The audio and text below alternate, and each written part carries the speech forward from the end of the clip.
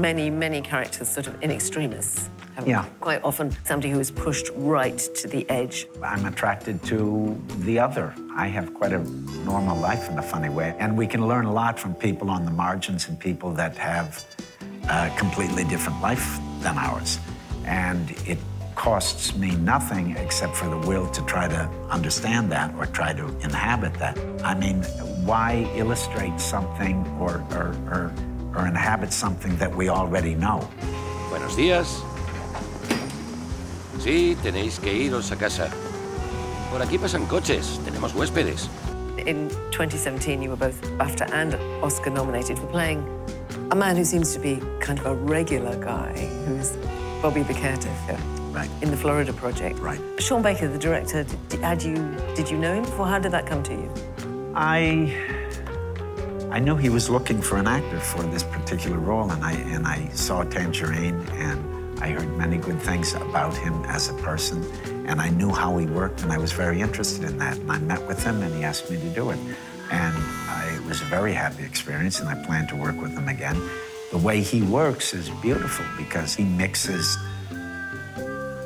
not usually actors, like non-actors or children, or people that are in the actual place where we're filming with actors. Se acabó, fuera. Os he avisado una sola gota y os largáis. Venga ya, hombre. ¡Fuera ya! Es que fuera se va a derretir.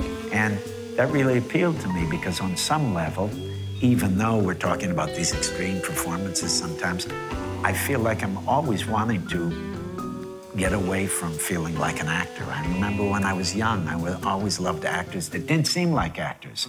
I thought they were people. you know, people like Warren Oates or Harry Dean Stanton. And as I was a kid, they were like, oh, they got some truck driver to do this role. But he had a kind of humanity and a kind of, um, you know, lack of narcissism uh, that I thought, wow, that's the way to tell stories. Eh, espera, espera, espera, espera. En serio, si vuelves a retrasarte en el pago, me tienes que avisar. I didn't act that part. I became a hotel manager. And it's not a method thing. I did the things a hotel manager does. But I didn't adopt a psychology. I just tried to do them correctly and tried to run that motel. And he set it up so I could. And the people that lived there sort of showed us how to make the movie.